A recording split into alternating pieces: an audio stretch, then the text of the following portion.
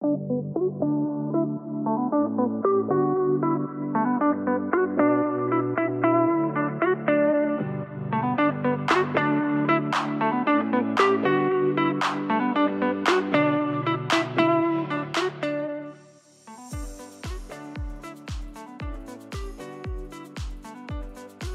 citizens of the world, Your Excellency, Today is the International Day of Conscience, a day established by the United Nations and accepted worldwide by the citizens of the world, the statesmen and world policymakers who are aware of the power they wield based on the authority entrusted to them by citizens they represent.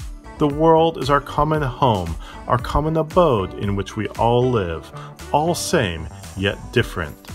We are all human beings, born with the same needs, the same rights, and yet we do not all enjoy the same rights and benefits that life gives.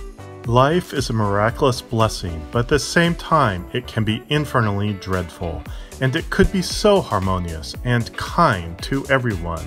We all just need to believe, act, and raise our voices loudly where social injustice, unequal treatment of human beings, disproportionate competition, uneven growth, development, and progress of regions cause varying degrees of well being, or no prosperity at all.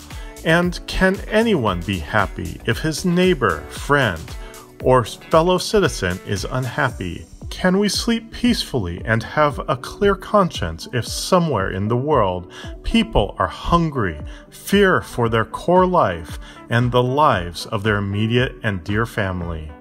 I know that it is not easy. Day by day, it is getting harder with all the challenges facing us. The COVID 19 pandemic completely changed our way of life the socializing, laughing, and spreading positive energy with words of kindness and warm hugs. However, that will not sway us. We are citizens of the world with a strong voice and power.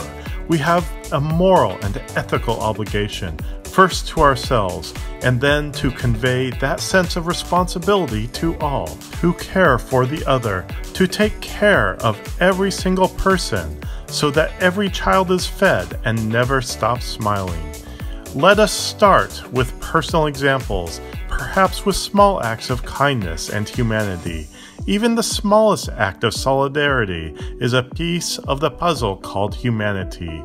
And when each individual is united in one body with one voice, nothing can stand before us and prevent the power of good word and the good deed. It will make us personally better people, but it will also make the world a better place to live. May collective happiness be a guiding star in our every future step and day. Together, let's start the change for the better of all of us. Stay healthy and celebrate life.